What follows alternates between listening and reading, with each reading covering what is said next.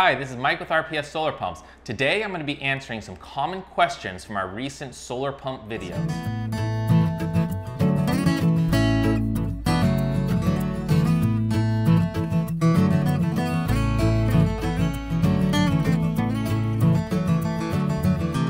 Today's question is on the TPP, that's our tankless pressure pump system. And the question is, can the controller act as a charge controller when the pump is not pumping so it continues to charge at the batteries? So with the TPP controller, what's actually happening is there's a charge controller inside, and that's operating independent from the pump controller. So whenever the sun is shining on the panels and there's capacity remaining in the batteries, then it's taking that power from the sun and adding into the batteries. Then whenever the pump fires up, it's running off the batteries. And so we can operate during the day, we can operate during the night. As long as there's capacity left in those batteries, we can run on the TPP. So depending on the exact system, it's either a 24 volt or a 48 volt battery bank.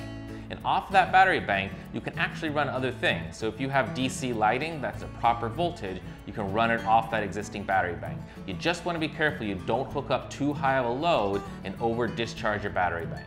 So the great thing about the TPP controller is it's all in one and it's set and forget. So you don't have to go and make any adjustments. So what you're gonna do is you're gonna hook up your solar panels to it, you're gonna hook up your batteries, and you're gonna hook up your pump and then it's just gonna operate. And so it's gonna automatically charge the batteries. When the pump needs power, it's gonna send that power to the pump. So really you don't have to worry about, am I pumping from panels, am I pumping from batteries? It's all being taken care of that controller to get you the runtime you need. A common question is, during the day when there's solar available, is the pump running off the solar or is it running off of batteries? So this question's easier to understand if we break it into three different scenarios. The first scenario is we have more solar coming in than the pump is using for power. In that case, all of the solar is going to the pump and any extra remaining power is gonna go into our batteries. The second case is, it doesn't really happen in real life, but it's perfectly balanced. We have the exact same solar coming in that the pump is using. In that case, all of the solar power is going to the pump.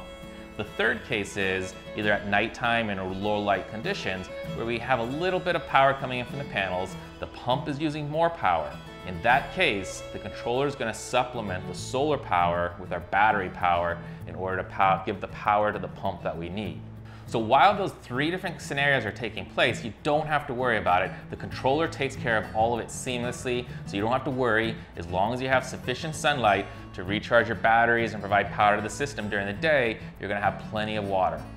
We're releasing more solar water pumping videos on a weekly basis, so if you have any questions, be sure to leave them in the comments below. Otherwise, hit that subscribe button and ring that notification bell.